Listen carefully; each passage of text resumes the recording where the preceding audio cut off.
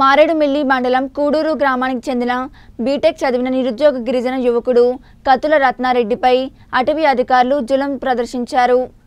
స్థానిక భద్రాచలం వెళ్ళే రహదారి మార్గంలో జీవనోపాధి కోసం ఒక షెడ్ నిర్మించుకోవాలని చూస్తుండగా ఫారెస్ట్ అధికారులు ఎటువంటి నోటీసులు ఇవ్వకుండా తన షెడ్ను ధ్వంసం చేశారని బాధితుడు వాపోయాడు.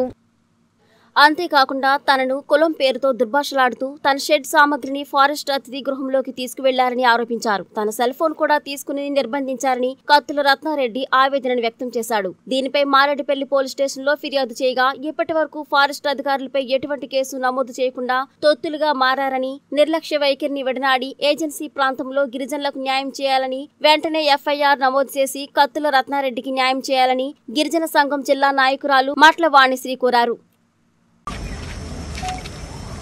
నా పేరు కత్తుల రత్నారెడ్డి. నాది కూడూరు గ్రామ మారేడు మండలం. నాది నేను బీటెక్ పూర్తి చేసి త్రీ ఇయర్స్ అవుతుంది. నా జాబ్ లేక ఉపాధి కోసం నేను మారేడుమిల్లి దగ్గర భద్రసలం వెళ్ళే రోడ్డు దగ్గర చిన్న చెట్లు టీ టీ స్టాల్ అనే దానికోసం నేను వేసుకున్నాను అక్కడ. అయితే ఫారెస్ట్ వాళ్ళు వచ్చి బలవంతంగా దాన్ని కూల్చేయడం జరిగింది. సార్ ఇది ఎందుకు కూల్చేస్తున్నారని నేను అడిగితే నీకెందుకు కొన్నాను కొడక ఇక్కడ వేసుకుని నాన్న విధాలుగా నన్ను దూసలాడడం జరిగింది. అదేవిధంగా నా దగ్గర ఉన్నటువంటి ఫోన్ తీసుకొని ఐదు గంటల వరకు ఐదు గంటల వరకు తొమ్మిది నుంచి ఐదు రెండు గంటల వరకు వాళ్ళ దగ్గర నిర్భయంగా ఉంచుకున్నారు.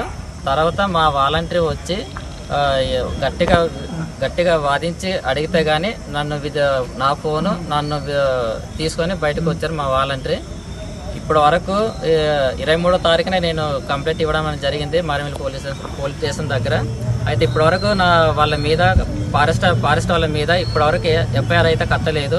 ఇప్పుడు కడతాను అప్పుడు కడతానని నా రోజు తిప్పిస్తున్నారు కానీ ఇప్పటివరకు ఎటువంటి న్యాయం అయితే చేయట్లేదు. ఇదే విధంగా నేను మీడియా తరఫున నేను చెప్పుకుంటున్నాను త్వరగా వాళ్ళని వాళ్ళని త్వరగా తీసుకొని సరే కఠిన చర్యలు తీసుకోవాలనేసి నేను మీడియా తరఫున చెప్తున్నాను రోజు మారేడుమిల్లి మండలంలో కూడూరు గ్రామ నివాసి అయినటువంటి ఒక నిరుద్యోగి బీటెక్ చదివి మూడు సంవత్సరాల కాలంగా ఉద్యోగం రాక అనేక అవస్థలు పడుతూ ఒక చిన్న టీ కొట్టైనా పెట్టుకుందామని చెప్పి మారేడుమిల్లి సెంటర్లో చిన్న బడ్డీ కొట్టు వేసుకుంటే ఇరవై రెండవ తారీఖున ఫారెస్ట్ అధికారులు వచ్చి ఆ షెడ్డుని నిర్దాక్షిణ్యంగా ఎటువంటి సర్క్యులేషన్ కూడా ఇవ్వకుండా ఎటువంటి నోటీస్ ఇవ్వకుండా అబ్బాయిని పిలిచి మాట్లాడుకోకుండా ఈరోజు ఆ బాగని కూల్ చేశారు ఇది ఎందుకు కూల్ చేశారయ్యా అని చెప్పి ఆ రత్నారెడ్డి ప్రశ్నించగా ఆ అబ్బాయి మ- మీద ఉన్నటువంటి సట్టును కాలర్ పట్టుకొని లాగి కొండవడానికి ఇక్కడ ఎవడేసుకోమన్నాడని చెప్పి దుర్మార్గంగా మాట్లాడినటువంటి పరిస్థితి ఉంది.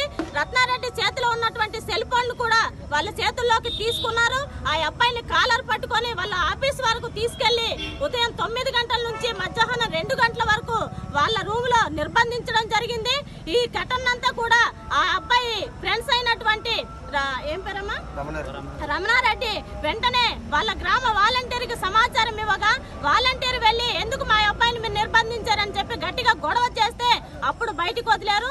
ఈ సంఘటనని ఆ అబ్బాయికి జరిగినటువంటి నష్టాన్ని నాకు న్యాయం చేయాలని చెప్పి ఇరవై మూడో తారీఖు మారేడుమిల్లి పోలీస్ స్టేషన్కి ఆ అబ్బాయి కంప్లైంట్ ఇవ్వడానికి రాగా ఈ రోజు వరకు కూడా ఆ అబ్బాయి ఇచ్చినటువంటి కంప్లైంట్ని ఎఫ్ఐఆర్ ఫైల్ చేయకోకుండా ఈ రోజు పోలీసు వాళ్ళు ఫారెస్ట్ వాళ్ళకి తొత్తులుగా పారెడ్ మిల్లులో నడుస్తూ ఉన్నారు.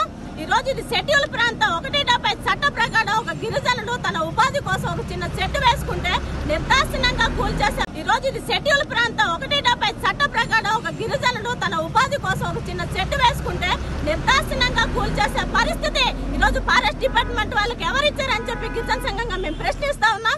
ఇదేందయ్యా వెంటనే ఎఫ్ఐఆర్ ఫైల్ చేయండి అని చెప్పి ఆ అబ్బాయికి గిరిజనులు గిరిజన సంఘంగా మేమందరం వచ్చి నిలబడితే మమ్మల్ని అందరినీ కూడా మీరు బయటికి వెళ్ళిపోండి అని చెప్పి ప్రశ్నించిన పరిస్థితి ఈ రోజు మారేడుమిల్లిలో కనబడతా ఉంది. మేము ఒకటే చెప్తా ఉన్నాం మారేడుమిల్లి సీఏ గారికి గిరిజనుల కోసం పనిచేయడానికి వచ్చినటువంటి అధికారులు గిరిజనులకి న్యాయబద్ధమైన సౌకర్యాలు కల్పించి గిరిజనులకు అండగా నిలబడాలని చెప్పి కూడా మేము ప్రశ్నిస్తా ఉన్నాం. ఫారెస్ట్ అధికారులు బ్రతుకు తెరువు కోసం వచ్చిన వాళ్ళు ఈ రోజు గిరిజనులపై దాడి చేసే హక్కు లేదు.